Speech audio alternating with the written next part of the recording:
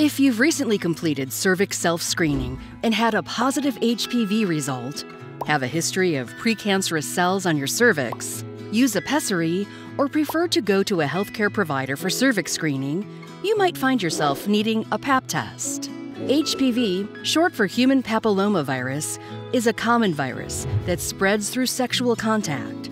Some types, known as high risk HPV, can cause changes in cervical cells over time. A pap test can check for high-risk HPV and or any cell changes these HPV types might have caused before they turn into cancer. The test is free and only takes a few minutes of your time. It can be done by a healthcare provider at their office or clinic.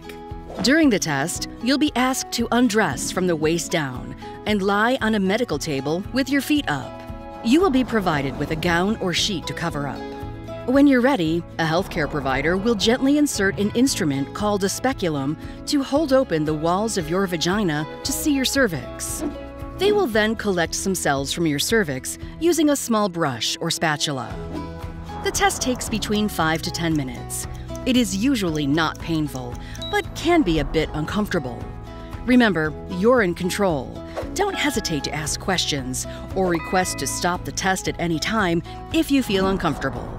After your PAP test, the sample goes to a lab to be examined. Some of the sample collected will either be checked for signs of abnormal cells or HPV, or both. This will depend on factors such as your age and health history. Your results will be shared with you and a healthcare provider.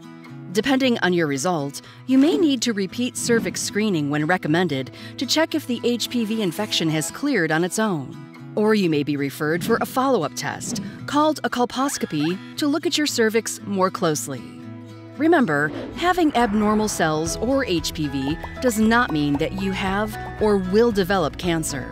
But it's very important to attend any follow up appointments.